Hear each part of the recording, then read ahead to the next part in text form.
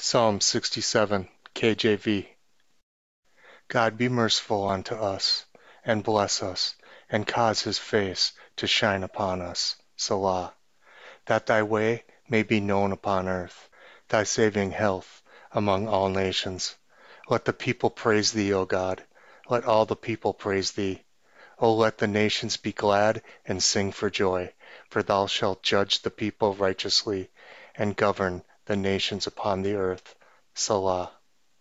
Let the people praise thee, O God. Let all the people praise thee.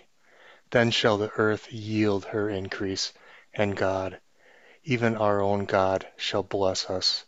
God shall bless us, and all the ends of the earth shall fear him.